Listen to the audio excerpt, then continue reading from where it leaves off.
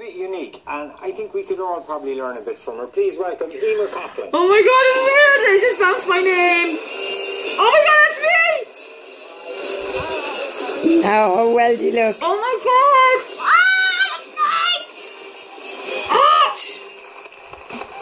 Eimear, you look fantastic. Thank you very much. And and the dress, that isn't actually attached to the dress. No, it's you put it actually goes around the back as well. I call it my Right. Sahara, Saharan Desert Queen look. I decided. It's quite, it's quite a kind of a Nubian queen, isn't Yeah, it? I think it's so. fantastic. Now, your own story is that so you're 32, living in London, got married quite recently and everything, and then before Christmas you got that news. Yeah, it was in mid-November. I woke up one morning and Okay, there was a with the video. sign to like the. There was like a